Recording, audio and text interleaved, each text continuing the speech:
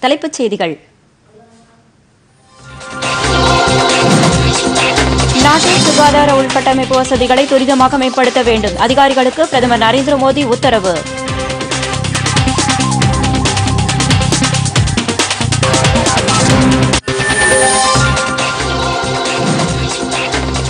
பதினெட்டு வயதிற்கு மேற்பட்டவர்கள் அனைவருக்கும் மே ஒன்றாம் தேதி முதல் கொரோனா தடுப்பூசி. முன்பதிவு இன்று தொடக்கம்.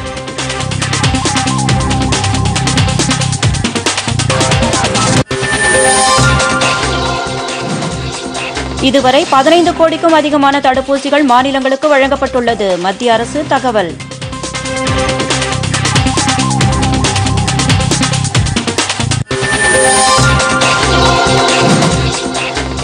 தமிழகத்தில் முதற்கட்டமாக ஒரு கோடியே ஐம்பது லட்சம் கொரோனா தடுப்பூசிகள் கொள்முதல். மாநில அரசு உத்தரவு.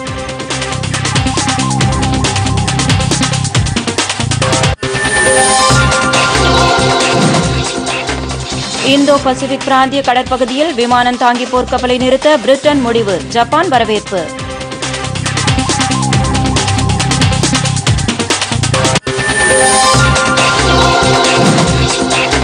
ஐபிஎல் கிரிக்கெட் தில்லியில் இன்று சென்னை ஹைதராபாத் அணிகள் பலப்பரீட்சை.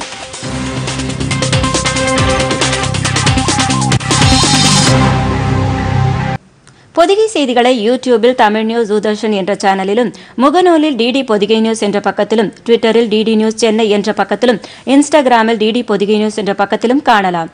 மேலும் உங்கள் கருத்துக்களை Podhigai DD news at Gmail dot com என்ற மின்னஞ்சலில் தெரிவிக்கலாம்.